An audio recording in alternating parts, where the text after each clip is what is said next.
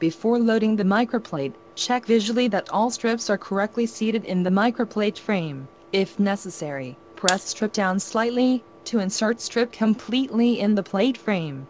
Do not wipe with your fingers over the plate surface, to avoid any particles falling into the wells. To load a microplate, open the cover of the plate loading station by moving it upwards and hinge it into the upper holder. Insert the right edge of the microplate into the plate carriage with the frame barcode visible. The Tango Infinity loads the plate automatically.